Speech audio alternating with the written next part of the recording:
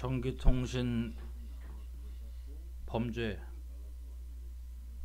연루돼서 정, 어, 통장이 모두 정지가 됐었는데 뭐 주식 계좌도 정지가 되고 입출금도 안 됩니다.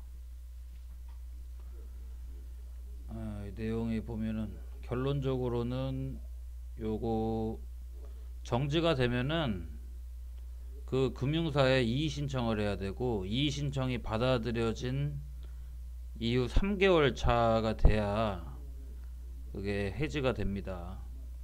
그리고 저 같은 경우는 해, 그 통장 정지 해제가 된 이후에 경찰서에서 전화가 와서 조사를 받았고요.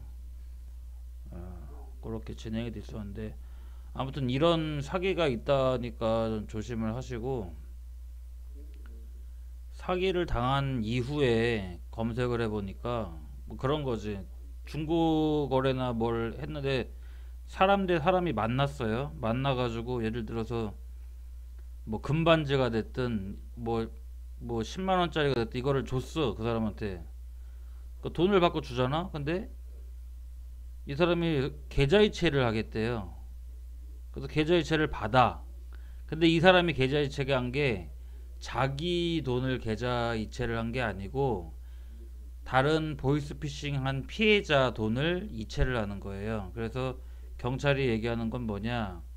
그 사람이 이체하려고 하는 어, 이체자의 예금주하고 그 사람 신분증 대조를 하라는 거예요. 굉장히 이거 말도 안 되는 거죠.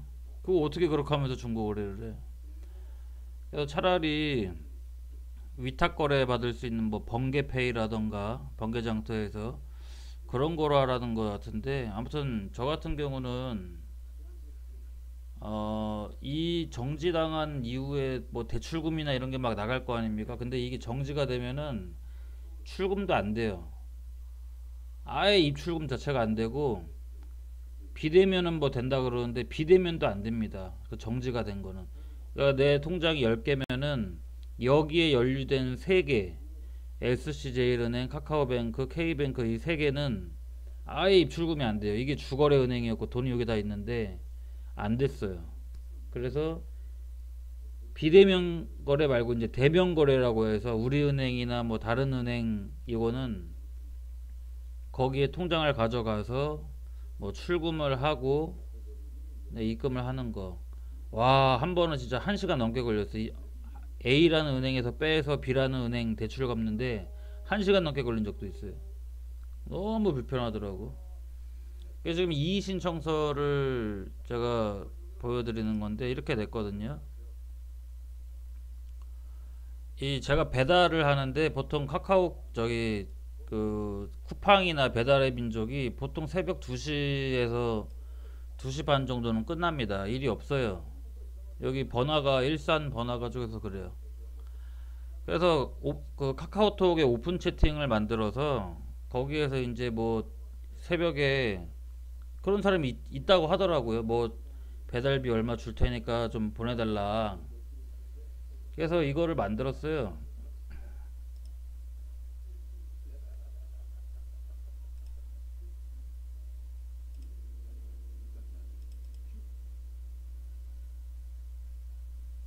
카카오톡 오픈 채팅방을 만들어서 단순 알바하려고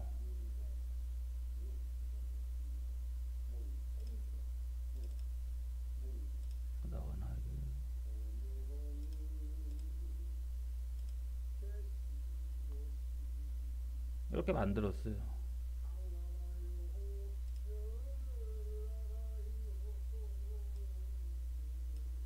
그랬더니 이놈입니다. 손흔드는 라이언 이놈이 안녕하세요. 그 깁카 400 정도 구매해야 되는데 소액씩 구매 가능한지 난 이게 뭔지도 몰라. 기프트 카드라는 게 뭔지도 몰랐어요. 그래서 이거 얘기 들으면서 물어봐 저기 인터넷에 보니까 구글 기프트 카드라고 하는 게 게임 머니 뭐 이런 거 쓰나 보더라고요. 편의점에서도 팔고 컬 컬처랜드 뭐 온라인 쇼핑몰 옥션 같은 데서 판매를 하는데 이거를 구입을 하면 여기에 이 그 지워 가려져 있는 부분을 동전으로 긁으면은 일련 번호가 나오고 그거를 달라는 거였어요. 근데 제가 배달을 할 때인데 한 시간 배달하면 한 만 원 정도 벌거든요. 만 원에서 한만 이천 원. 근데 이 사람이 처음에 어떻게 하냐면은 13만 원을 보내줘요. 13만 원을 보내주고 10만 원짜리 기프트 카드를 사서 자기한테 그걸 주면 3만 원을 수수료를 주겠다는 거야. 이거 누가 하네? 긴가민가 하면서 진짜 10만 원 정도 내가 먼저 돈을 저기 하는 것도 아니고 먼저 돈을 주는 거야. 그거 어떻게 안 하냐고. 그래서 그렇게 하다가 나중에는 뭐 30만 원 저기 하고 그래서 거의 한 400돈을 사줍니다. 그 하다 시키는 대로 했어요. 뭐 카카오페이 선물하게 가서 뭐 사달라 그러고 이게 지금 대화 내용이거든요.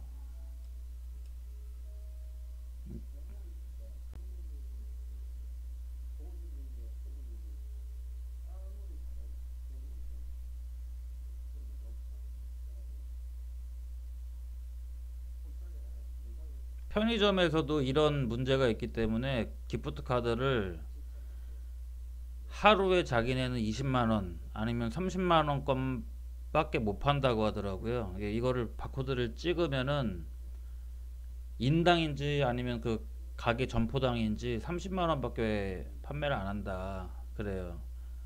그래가지고 그렇게 20인가 30을 사서 주고 나중에는 이 사람이 시키는 대로 인터넷으로 산 겁니다.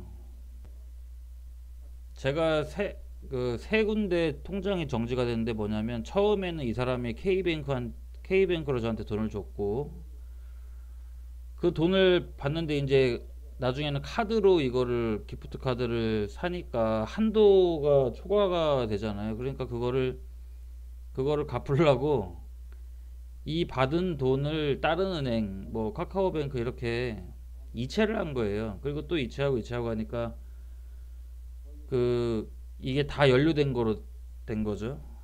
카드 대금 낼라다가 하여튼 뭐 이렇게 갔어요. 그 막, 막판까지 이렇게 하다가 이 코드 번호 막 보내주고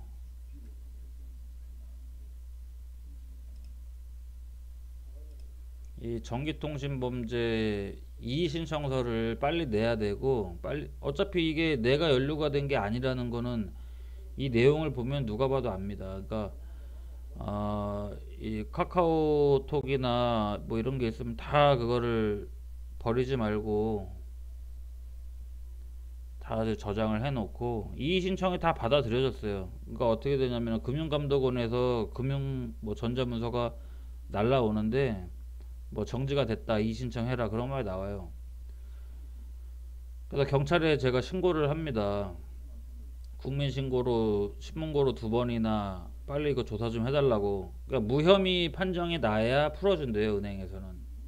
근데 이게 웃긴 게 전화만 몇 번 오고 조사받으러 언제 오라 그러는데 연루자가 너무 많다 보니까 차례가 언제 올지 모른다. 결국은 세 달 지나서 조사를 받았어요 풀린 다음에 그리고 아무튼 이의 신청하고 그 이의 신청이 받아들여져야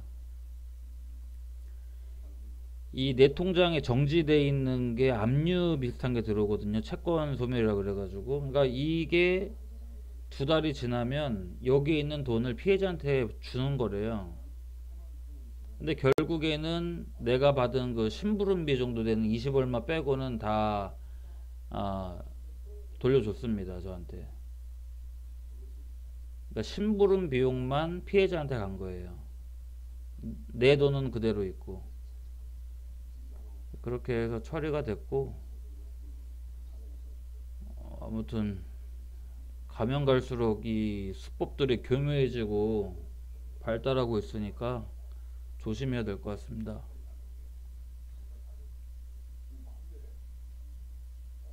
좋아요 좀 눌러.